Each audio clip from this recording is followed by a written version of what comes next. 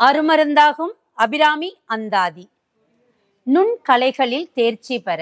நுண்கலைகள் அப்படின்னு நம்ம பார்க்கும்போது பாட்டு நடனம் ஓவியம் நடிப்பு இது எல்லாமே வந்து நுண்கலைகள்னு சொல்லுவாங்க. இது வந்து எழுதி படித்து வரக்கூடிய விஷயமே கிடையாது. அவங்களுக்கு உள்ளுக்குள்ளே இருந்து வரணும். இந்த ஆற்றல் இந்த இந்த தகுதி இதெல்லாமே வந்து உள்ளுக்குள்ளே இருந்து வரணும். இதை கொடுக்கறவங்க தான் ராஜமாதங்கி அப்படின்னு சொல்லுவாங்க. அபிராமி அன்னை தான் ராஜமாதங்கியும் கூட அப்படின்ற மாதிரியான ஒரு பாடல் தான் இந்த பாடல். அபிராமி அந்தாதியில எழுபதாவது பாடல். கண் கழிக்கும்படி கண்டு கொண்டேன் கடம்பாடவியில் பண் கழிக்கும் குரல் வீணையும் கையும் பயோதரமும்.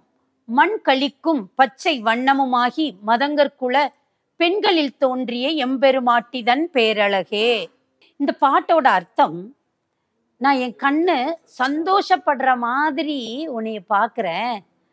பண்ணு அதாவது ராகம் வந்து ஆசைப்படுமா?